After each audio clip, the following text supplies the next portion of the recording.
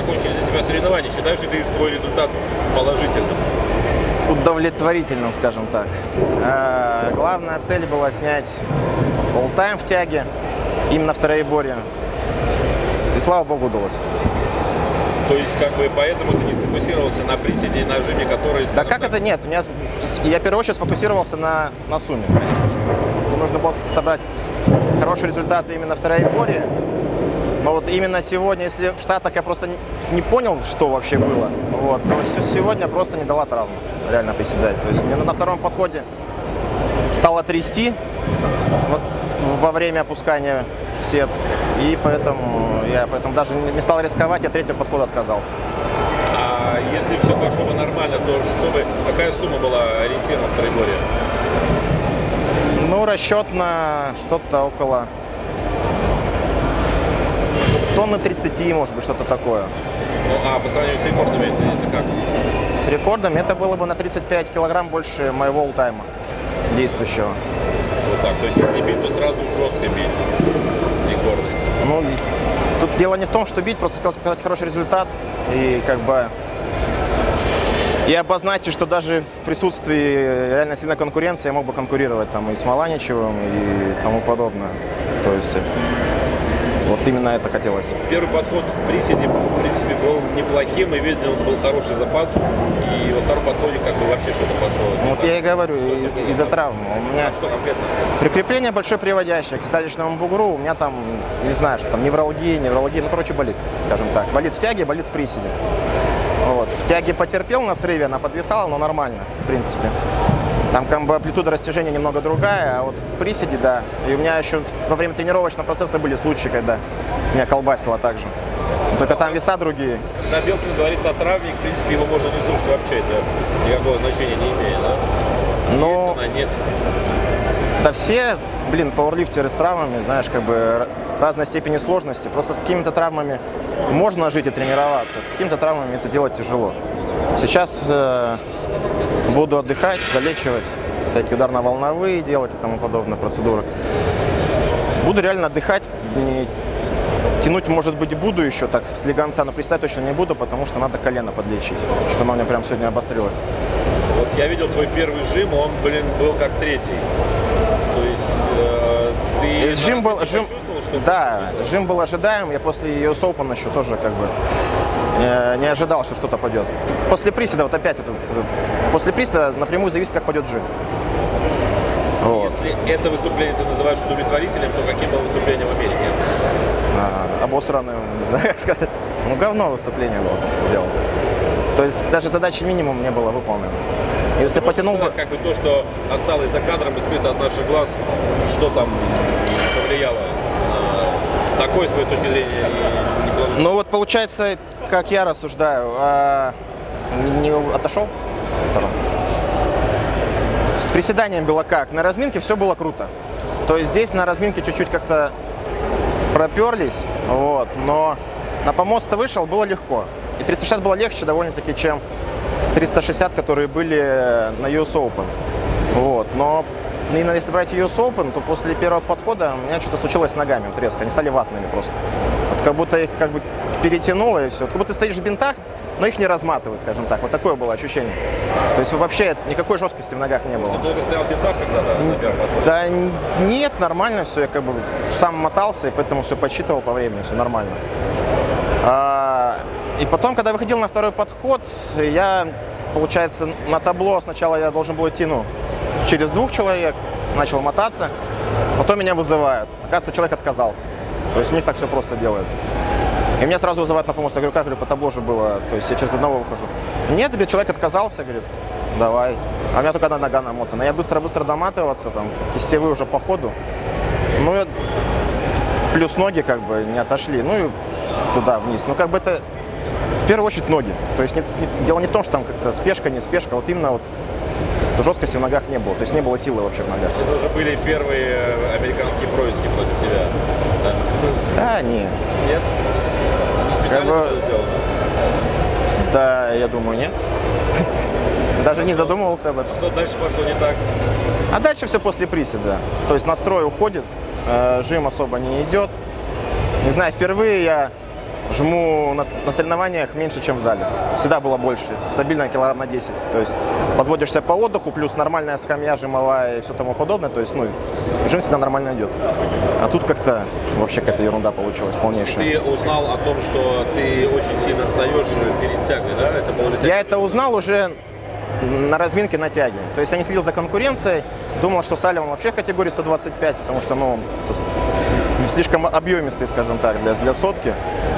Вот потом смотрю, блин, а я отстаю на 45 килограмм, думаю, блядь, да что, херели что ли? Да надо тянуть нормально. То есть, э, так как настрой уже был не тот, и поэтому решил перезаказать, чтобы этот, ну, как бы крыть. Я думаю, ну, меньше 375 заказать незачем. Хотя мне хватило бы заказать 362,5, чтобы просто его все время накрывать и контролировать. Касал 75, спокойно потянул. Потом по самочувствию пошел на 95, то есть не стал там смотреть, сколько он пойдет. И все, то есть как бы 95 не хватило, чтобы сделать задел. Ну, А он оказался результат. в тяге, да? Нет, тяга у него хорошая, в принципе, в целом, я бы сказал. То есть, ну, обычно средняя тяга. Как бы я по себе-то не сравниваю. Я-то читер в тяге. Микроамплитуда и тому подобное. А Еще, еще, еще, еще и замок теперь появился. Это говорят вообще, типа, замок амплитуду уменьшает прям. Да не хочу. Ничего подобного на самом деле. Понятно. Руки Почему длиннее ты- не становятся. Почему ты сохранил в секрете свое выступление сегодня? Почему ты никому не говорил? Э, Не хотелось какого-то этого внимания все привлекать. Я не, не люблю внимание, и оно мне реально мешает, как еще показала практика в декабре с тягой. То есть хотелось как-то более незаметно проскочить, но я знал, что не получится, потому что мне нужно было с утра выводить в этот же день, сегодня. Своего спортсмена, его выступление планировалось задолго до моего, само собой. То есть, и, конечно же, я бы не сказал бы, типа, я хочу выступать, типа, иди в жопу. Понятно, что дело я так не сделаю, поэтому с 9 утра я уже был здесь и его выводил. Ну и, пока, соответственно, пока я здесь, и там все подходят, там, можно сфотаться, можно сфотаться, и так вот потихоньку как бы дергают. Дергают, но это как бы забирает, я бы сказал, силы. Вот.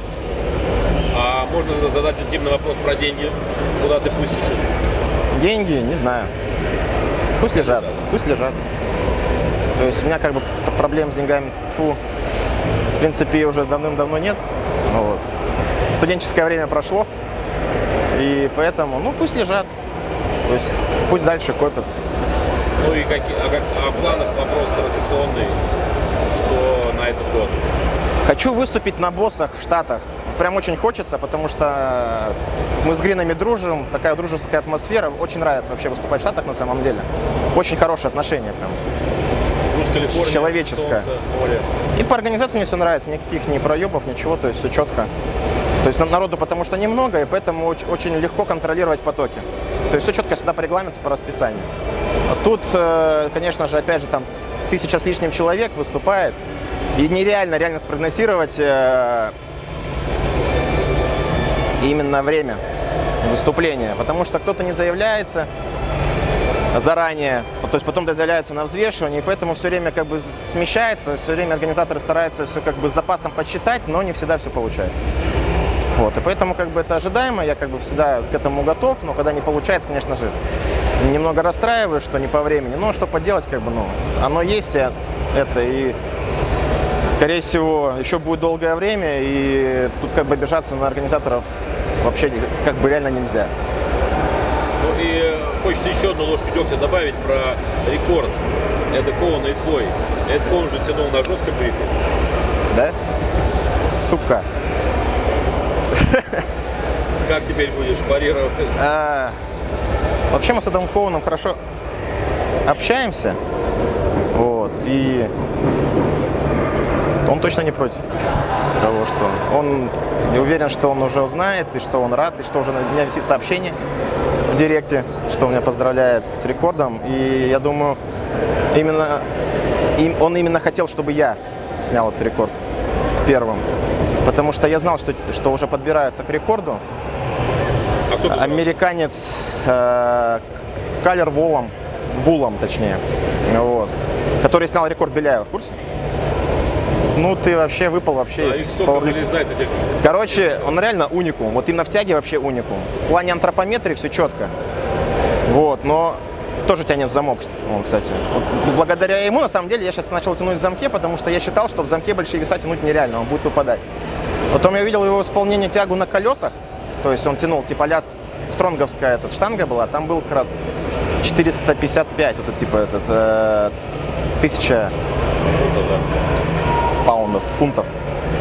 Вот. И я реально понял, что в замке тянуть большие веса реально. То есть меня именно это пугало в первую очередь.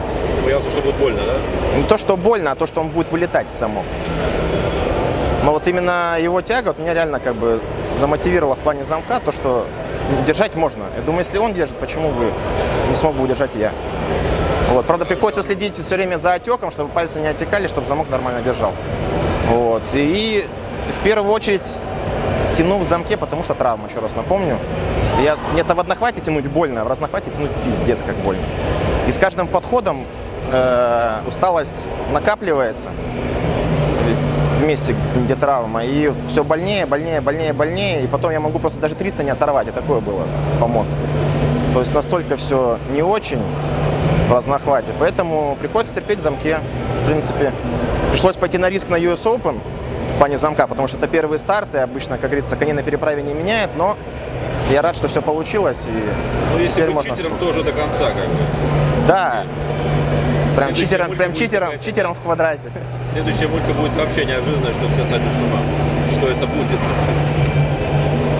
Вот, В принципе, рад, потому что вот есть чувство удовлетворения теперь. Наконец-таки, да. Да, потому что мне пришлось выступать на этих соревнованиях именно из-за тяги, в первую очередь. То есть у меня был- были сначала мысли потянуть просто по тяге, выступить. Вот. И Эд Коуэн, напомню, был бы не против, если это было бы так, но я не смог себе позволить именно только по троеболю.